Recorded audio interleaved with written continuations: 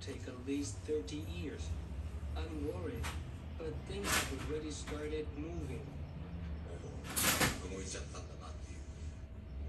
The government has promised to work hard to prevent reputational damage.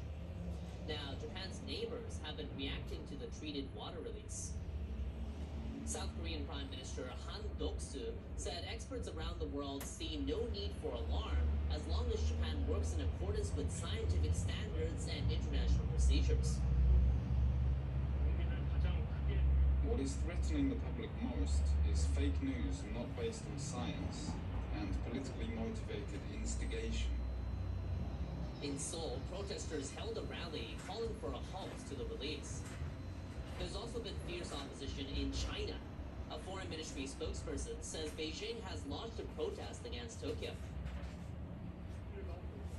Is spreading the risks to the rest of the world and passing a wound and pain.